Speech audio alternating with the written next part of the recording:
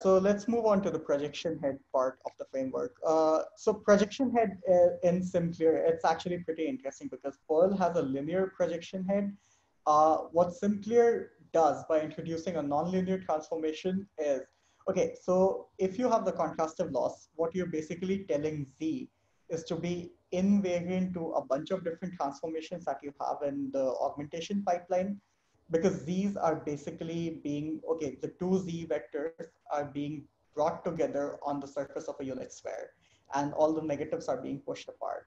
But what that does to Z is it makes Z invariant to a bunch of different transformations.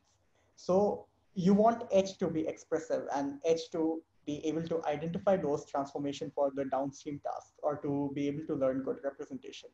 So having a nonlinear transformation between H and Z basically allows an expressive set of representations in H to be mapped to an invariant set of representations in Z.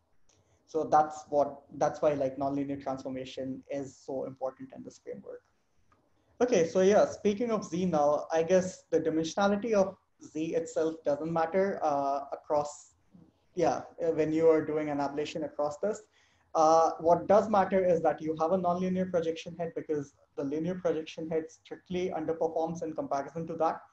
What's interesting is that the authors have also tested the default, uh, like, like directly applied the contrastive loss to H here. That's your none case. So the H is 2048 dimensional. Uh, and that strictly performs again, like the performance is much worse than any other case.